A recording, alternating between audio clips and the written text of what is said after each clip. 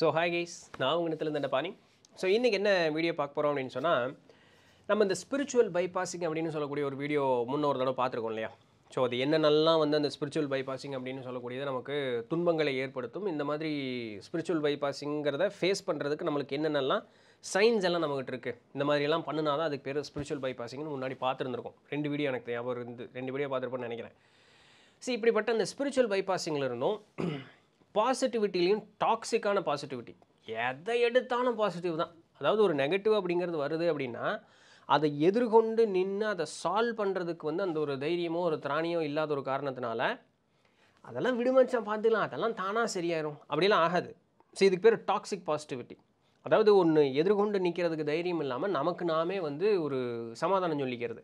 So இதிலிருந்தெல்லாம் எப்படி வெளியே வர்றது அப்படிங்கிறத இன்றைக்கி நம்ம வீடியோவில் பார்க்க போகிறோம் அதாவது இந்த spiritual bypassing and toxic positivity இது ரெண்டுலேருந்து எப்படி வெளியே வர்றது அப்படிங்கிறத இன்றைக்கி நம்ம வீடியோவில் பார்க்க போகிறோம் சரிங்களா? ஸோ உங்களுக்கு ஸ்பிரிச்சுவல் பைபாசிங் ஞாபகம் இருக்கும் அப்படின்னு நினைக்கிறேன். ஃபைன் ஃபஸ்ட்டு ரொம்ப காமனான ஒரு இது.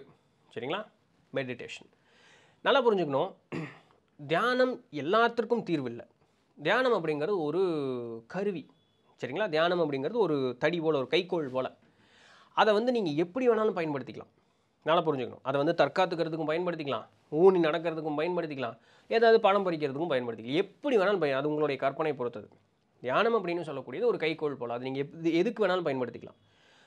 ஆன்மீகத்திற்காக பயன்படுத்துகிறோம் அப்படின்னு சொல்லும் பொழுது எண்ணமற்ற நிலை அப்படிங்கிறது நமக்கு தேவைப்படும்.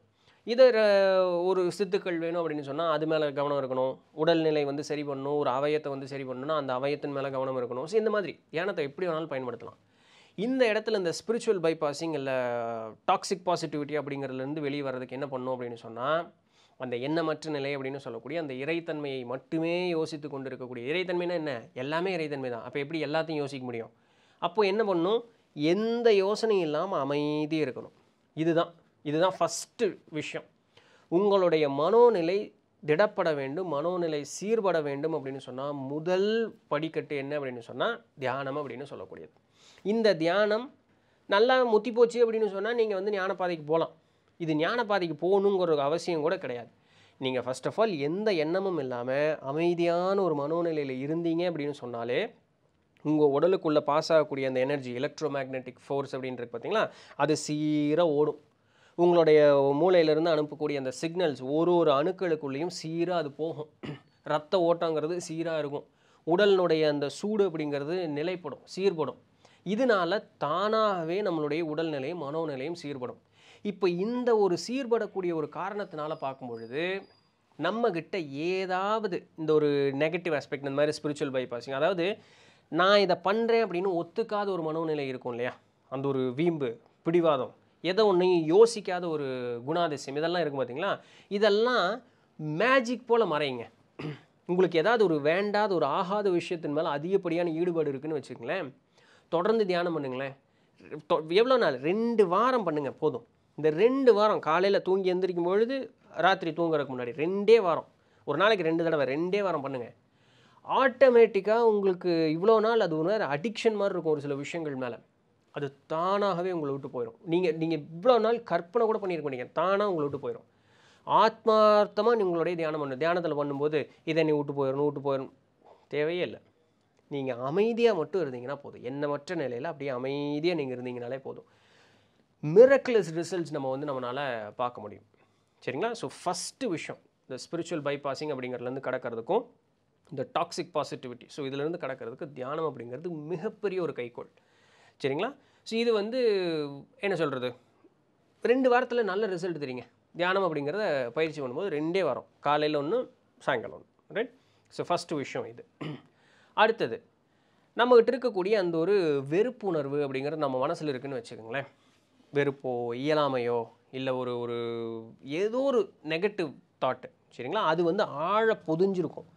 அது எ- நம்ம மனசுக்குள்ளே இருக்குன்னே தெரியாமல் என்ன பண்ணிகிட்டு இருப்போம் அப்படின்னு சொன்னால் நம்ம வந்து நிறைய அடுக்குகள் அடுக்குகளாக வந்து ஒரு சாந்தமான ஒரு மனோநிலையை நம்மளே வந்து கற்பனையின் பேரில் உருவாக்கி வச்சுருப்போம். அதுதான் இந்த மாதிரி ஆன்மீகத்தின் பேரில் சராசரி வாழ்க்கையை வந்து ஒதுக்கிட்டு ஓடுறதுக்கு உண்டான ஒரு வழியாக மாறிடும்.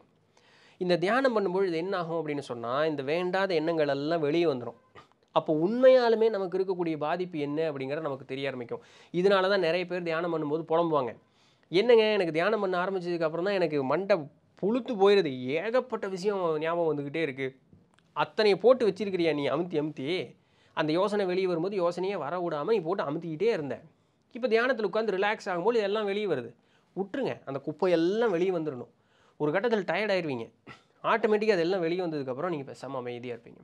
அப்போ இது வெளியே வரும்பொழுது உங்கள் மனசில் இருக்கக்கூடிய வெறுப்போ இல்லை வேதனையோ மன வருத்தமோ இல்லை இந்த மாதிரி எந்த ஒரு நெகட்டிவான இது இருந்தாலும் அதனுடைய ரூட் காஸ் தெரிஞ்சிடும் அப்போ அந்த ரூட் காஸ் ஏன் வந்தது எதுக்கு வந்தது அப்படின்னு சொல்லி நீங்கள் யோசிச்சிங்கன்னா அந்த நிகழ்வில் போய் அந்த நிகழ்வில் நிகழ்வை வந்து ஒன்றா நீங்கள் மன்னிச்சிருங்க. இல்லை நீங்களே உங்களுக்கே ஒரு பாசிட்டிவ் அஃபர்மேஷன் கொடுங்க. உங்கள் பேரை உங்கள் பேரை சொல்லி நீங்களே உங்கள் கூட பேசுங்க. இங்கே பாரு இது நடந்த காலத்தில் நமக்கு வந்து போதுமான ஒரு மனோதிடமோ ஒரு மனோபக்குவமோ நம்மகிட்ட ஒரு பலமோ நம்மகிட்ட வந்து இல்லாத ஒரு காரணத்தினால தான் இந்த ஒரு துன்பமான ஒரு சூழ்நிலையை அனுபவிக்க வேண்டியதாக இருந்தது. இன்றைக்கி நம்ம வந்து ஒரு நல்ல ஒரு பலசாலியாகவும் நல்ல ஒரு அறிவுள்ளவனாகவும் இருக்கும்.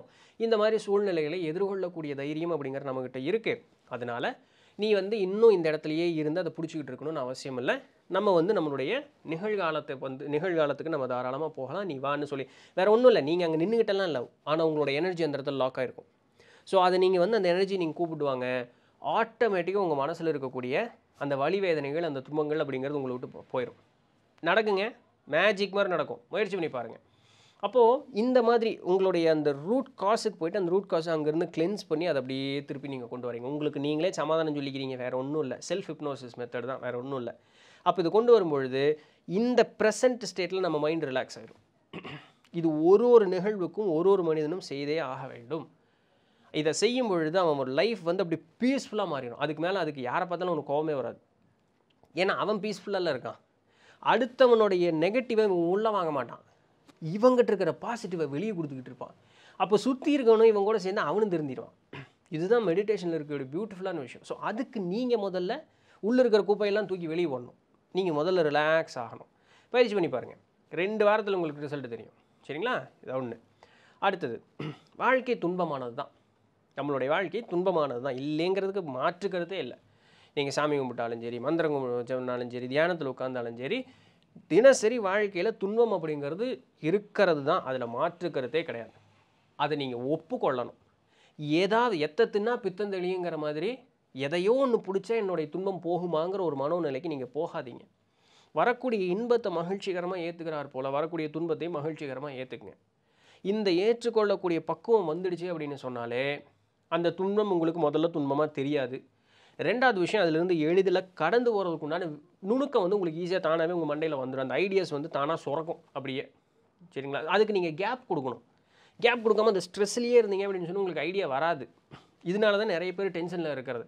அப்போ கொஞ்சம் அந்த ரிலாக்ஸேஷன் கிடச்சிருச்சு அப்படின்னு சொன்னாலே நம்ம ஆட்டோமேட்டிக்காக எந்த ஒரு பிரச்சனை வந்தாலும் இந்த ஈஸியாக தப்பிச்சு வெளியே போகிறதுக்கு உண்டான வழி அப்படிங்கிற நமக்கு கிடச்சிடும் ஸோ வாழ்க்கை துன்பமானது தான் நான் இப்போ துன்பமான ஒரு சூழ்நிலையில் தான் இருக்கேங்கிறத முதல்ல ஒத்துக்குங்க. அதை ஒத்துட்டு ஃபஸ்ட்டு அதை ஒத்துக்குங்க. அதுலேருந்து எப்படி வெளியே வர்றதுங்கிறத பற்றி யோசிக்காதீங்க. ஆமாம் கஷ்டமாக தான் இருக்குது என்ன பண்ணுறது நான் முயற்சி செஞ்சுட்டு தான் இருக்கேன். அதுலேருந்து மீண்டு வருவதற்குண்டான முயற்சி செய்கிறேன் எல்லாம் நல்லபடியாக நடக்கும். பார்த்துக்கலாம். ஸோ இந்த ஒரு பாசிட்டிவான எண்ணத்தோட உங்களுடைய தினசரி வாழ்வை நீங்கள் வந்து அந்த துன்பத்திலேருந்து வெளியே வருவதற்குண்டான வழிபாதையில் பயணிக்கிறதுக்கு கடத்துங்க. ஆட்டோமேட்டிக்காக உங்களுடைய பிரச்சனைகள் சொல்யூஷன் அப்படிங்கிறது கண்டிப்பாக கிடைக்கும். ரொம்ப சீக்கிரமாக கிடைக்கும். சரிங்களா? முயற்சி பண்ணி பாருங்கள் அடுத்தது கண்மூடித்தனமான நம்பிக்கை. அது இறைவன் மேலானாலும் சரி குருமார்கள் மேலானாலும் சரி நூட்கள் மேலானாலும் சரி எதுனாலும் ஆனாலும் சயின்ஸு மெடிசன் எதுனாலும் ஆனாலும் சரி கண்மூடித்தனமான நம்பிக்கை அப்படிங்கிறது இருக்கக்கூடாது. ஏதோ ஒன்று அதான் எதை தின்னா பித்தந்தலின்னு ஏதோ ஒன்று சொன்னால் செஞ்சால் எனக்கு சரியாக போயிடும் அப்படின்னு சொல்லக்கூடாது அப்படியெல்லாம் என்றைக்குமே நடக்காது. எதையோ ஒன்று செஞ்சால் நம்மளுடைய வாழ்க்கை திடீர்னு திடுதுப்புனெல்லாம் ஒன்றும் மாறாது.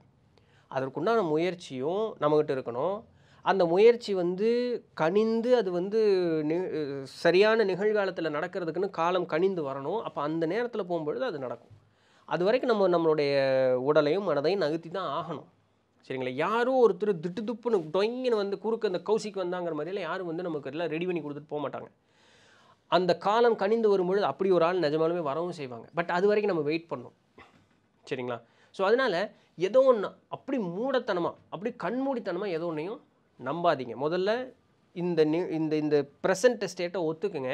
அதுக்கு ஒருத்தவங்க சொல்யூஷன் சொன்னாங்க அப்படின்னு சொன்னால் அந்த சொல்யூஷன் உங்களுக்கு சரிப்பட்டு வருதான்னு பாருங்கள் அலசி ஆராய்ஞ்சு பாருங்கள் இது சரியா இது தவறா இப்படி பண்ணுனா நல்லது நடக்குமா அப்படின்னு சொல்லிட்டு சரின்னு தோணுச்சுன்னா செய்யுங்க. இல்லைன்னா பொறுமையாக இருங்க. ஸோ இந்த அக்செப்டன்ஸ் அப்படிங்கிறது முதல்ல உங்களுக்கு வரணும். அடுத்தது உங்ககிட்ட நிறைய ட்ராபேக்ஸ் அப்படிங்கிறது இருக்குது அப்படிங்கிறது உண்டான அக்செப்டன்ஸ் வரணும். ஆமாம் தப்பு பண்ணுறேன் எனக்கு புரியுது. அதிலிருந்து திருந்தி மீண்டு வெளியே வருவதற்குண்டான முயற்சி நான் எடுத்துக்கிட்டு தான் இருக்கேன். முன்ன இருந்ததுக்கு இன்றைக்கி நான் பரவாயில்ல. இன்னும் நான் வந்து என்னுடைய முன்னேற்றத்திற்கு போகிறேன் நான் என்னை வந்து இன்னும் முன்னேற்றி கொள்கிறேன் ஸோ இந்த மனோநிலை உங்களுக்கு வந்து கண்டிப்பாக வந்தே ஆக வேண்டும். இது வந்துருச்சு அப்படின்னு சொன்னாலே நம்மளுடைய உறவுகளில் நல்ல ஒரு மேம்பாடு மேம்பாடு இருக்கும். செய்யக்கூடிய வேலையில் மேம்பாடு இருக்கும். நம்ம கூட பழகக்கூடியவர்கள்ட்ட ஒரு மேம்பாடு இருக்கும். ஸோ ஆட்டோமேட்டிக்காக நம்மளுடைய லைஃப் வந்து அப்படியே பாசிட்டிவாக மாறிட்டே இருக்கும். கிராஜுவலாக உங்களுடைய லைஃப்பில் ஒரு க்ரோத் அப்படிங்கிறத பார்த்துட்டே இருப்பீங்க. ஐயோ இவ்வளோ நாள் இப்படி இருந்தால் இன்றைக்கி சூப்பராகிட்டியா கொஞ்சம் கொஞ்ச நாள் உங்கள்கிட்ட நல்ல ஒரு மாறுதல் பார்க்குறேனையா இந்த ஒரு பேச்சு வரும்.